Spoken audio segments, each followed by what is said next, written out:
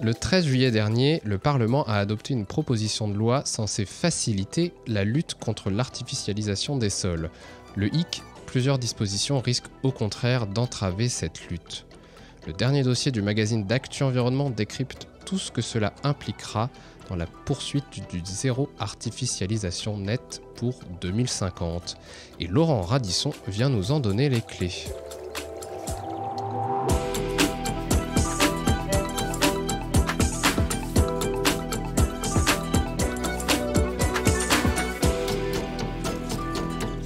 Les clés de l'environnement, le podcast d'Actu Environnement.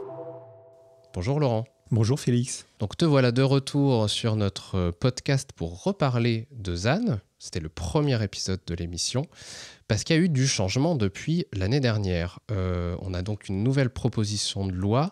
Est-ce que tu peux nous rappeler brièvement euh, ce qui est à l'origine de cette loi? Déjà, je voulais signaler que la, loi a été publiée le 21 juillet. Et l'origine de la proposition de loi, euh, c'est euh, en quelque sorte une remise en cause de celle portant sur le climat et la résilience d'août 2021, qui a inscrit l'objectif euh, zéro artificialisation nette, donc le ZAN, d'ici 2050, et fixé un objectif intermédiaire de réduction de la consommation d'espaces naturels, agricoles et forestiers d'ici 2031. Et alors, il se trouve que euh, des décrets d'application avaient été publiés dès le mois de mai 2022 et qu'ils ont suscité la, gronde des collectivités euh, locales. Oui, c'était le sujet de notre premier podcast. Voilà.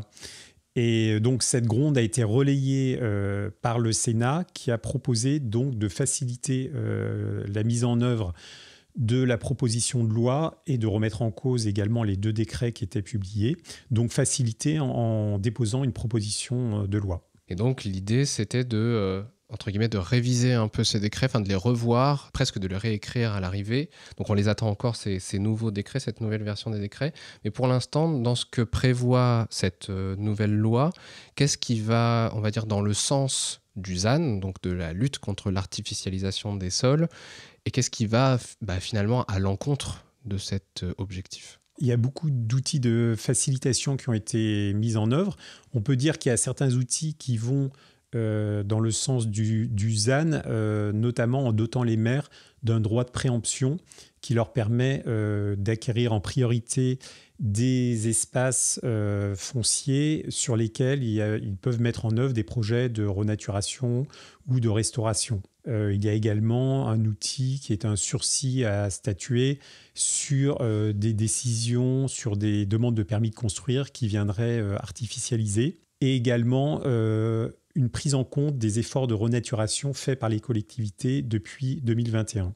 D'accord, donc ça c'est le positif, on va dire. Voilà. Après, c'est vrai qu'il y a euh, donc d'autres éléments qui sont beaucoup plus problématiques et qui pourraient remettre en cause en fait l'atteinte des objectifs. C'est notamment le cas de ce qu'on appelle la garantie rurale, qui est en fait en quelque sorte euh, ce que le Sénat a appelé un droit au projet qui est donné aux collectivités territoriales pour qu'elles puissent assurer euh, leur développement. Et donc ça s'est traduit euh, par l'attribution d'un hectare de droit à artificialiser d'ici 2031 à l'ensemble des communes françaises dès lors qu'elles sont couvertes par un document d'urbanisme.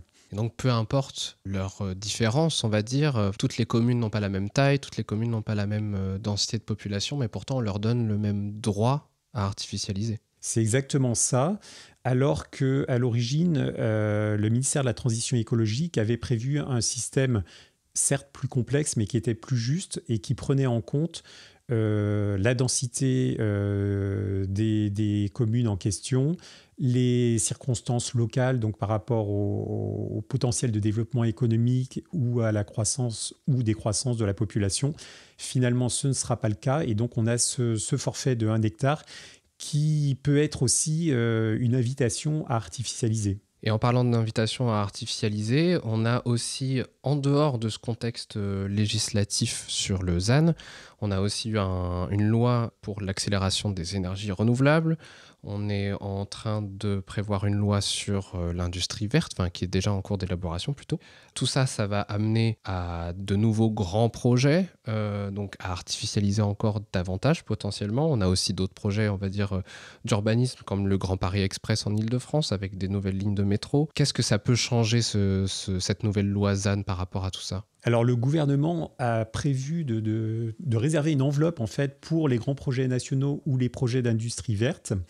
Alors euh, si on parle un peu chiffres en fait sur la décennie précédente, on a eu euh, environ 250 000 hectares consommés, donc 25 euh, 000 hectares en moyenne par an. Et avec donc le premier objectif à 2031, on divise par deux, donc ça équivaut à une enveloppe de 125 000 hectares à artificialiser, entre guillemets, d'ici 2031. Euh, et sur cette enveloppe, euh, le gouvernement a prévu de réserver, euh, quoi, le gouvernement et les, sénateurs, les parlementaires, puisqu'ils se sont mis d'accord, sur une enveloppe de 12 500 hectares qui serait réservée pour euh, les grands projets nationaux. Une partie de ces 12 500 hectares euh, seront répartis entre les différentes régions, donc c'est comptabilisé euh, dans le ZAN, mais avec un mode de comptabilisation différent. Et par contre, on a 2500 hectares qui sont non comptabilisés et qui profiteront en particulier à l'île de France, aux Outre-mer et à la Corse. Et à l'heure actuelle, en termes d'artificialisation, on en est où finalement? Est-ce qu'on est plutôt dans les clous? Est-ce qu'on arrive à limiter l'artificialisation ou pas? Au niveau euh, de l'évolution de l'artificialisation, donc globalement, c'est un petit peu baissé puisqu'on est passé de 25 000 à 21 000 hectares euh, par an.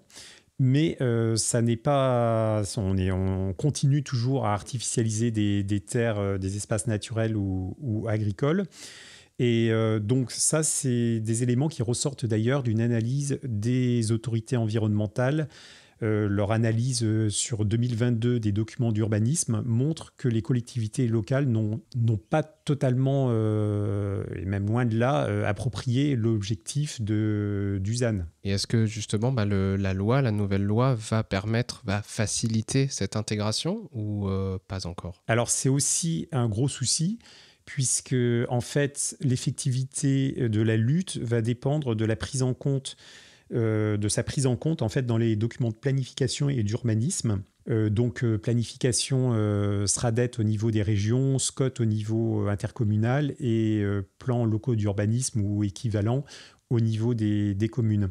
Et donc il y a deux faiblesses importantes en fait qui ressortent de la loi de facilitation qui vient d'être publiée c'est d'une part qu'il n'existe finalement qu'un simple rapport de prise en compte entre les SRADET au niveau euh, régional et les SCOT au niveau intercommunal et non pas un rapport de compatibilité. Et puis euh, également, gros problème, il y a un décalage dans le temps en fait de l'obligation de déclinaison des objectifs du ZAN dans ces différents documents. Donc par exemple pour les plans locaux d'urbanisme, euh, l'échéance est repoussée à 2028, sachant que le premier objectif est à 2031. Donc si les communes ne font rien par elles-mêmes euh, d'ici là, bah, on a un risque quand même évident de ne pas atteindre les objectifs de lutte qu'on s'est fixés. Eh bien, merci Laurent pour ce point d'étape. Et puis, on vous invite évidemment à lire euh, la poursuite entre guillemets des opérations et de la lutte contre l'artificialisation des sols sur notre site actu-environnement.com. En attendant, moi, euh, je vous dis à la prochaine. Et d'ici là, n'oubliez pas de partager ce podcast et de le commenter sur les réseaux sociaux. Vous pouvez même poser des questions si vous le souhaitez à Laurent avec le hashtag Les Clés Podcast. Et si vous souhaitez vous abonner à toutes nos actualités et recevoir notre magazine, vous pouvez profiter de 20% de réduction avec le code Les Clés Podcast sans accent tout attaché.